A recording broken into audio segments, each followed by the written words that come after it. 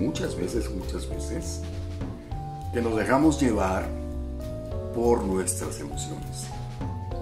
Y por emociones entendamos todo aquello que pasa por este tamiz de nuestra mente y que nos provoca reacciones un poco ajenas al intelecto, que básicamente afectan nuestro ánimo.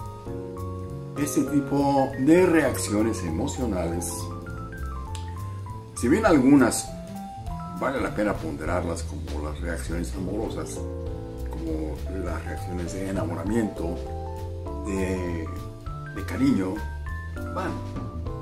Pero en general, la inteligencia emocional y las emociones en general tienen que ser reguladas y controladas.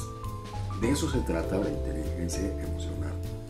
Un hombre, un hombre con estilo, un hombre inteligente, un hombre preparado, no puede permitirse que sus emociones lo controlen y lo lleven a conductas o a manifestaciones verbales que no le corresponden, que no corresponden a su estatus, a su educación, a su lugar que tiene en el mundo o a su condición de estilócrata, sencillamente. Por eso le quiero mencionar a usted, amiga y amigo, que las emociones tienen que ser perfectamente estudiadas y controladas.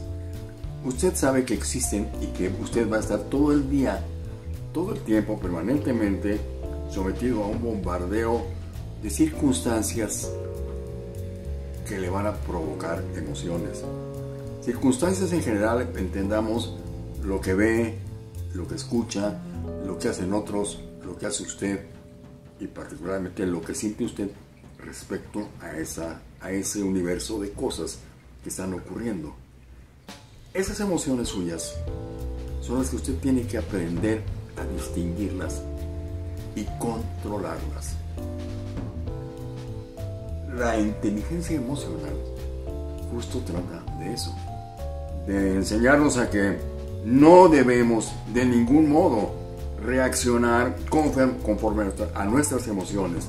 Antes de reaccionar conforme a las emociones, debemos pasar esas emociones por el tamiz de la conciencia, por el tamiz de la inteligencia. Preguntarnos, ¿es muy inteligente lo que voy a hacer en este momento? Miren, le voy a dar un ejemplo burdo. Suponga que va usted por la calle y un perro se asoma por un enrejado y le ladra y usted se asusta. El susto es una emoción. Y usted se deja llevar por esa emoción y toma una piedra y le da una pedrada al perro.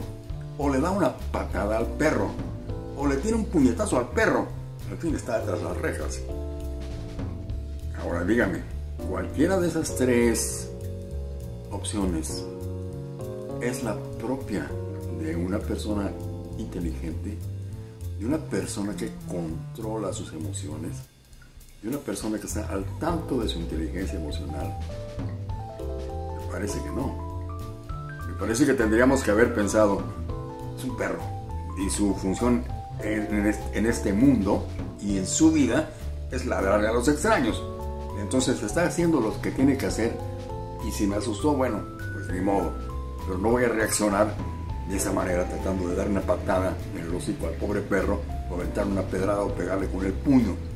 Porque no es lo propio, lo conducente a un hombre o a una mujer que sabe controlar sus emociones. Amiga, amigo, el control de las emociones es fundamental. Uno tiene que estar siempre con la mente perfectamente estabilizada para que las emociones no lo controlen a uno, sino por el contrario, que sea uno quien controla las emociones. Esto es Estilocracia y Estilocracia Clásico, sus canales favoritos de YouTube. Y yo soy Ricardo Domínguez. Y les recuerdo que el estilo no es algo con lo que se nace, es algo que se aprende con el tiempo y en el camino. Que les vaya bien.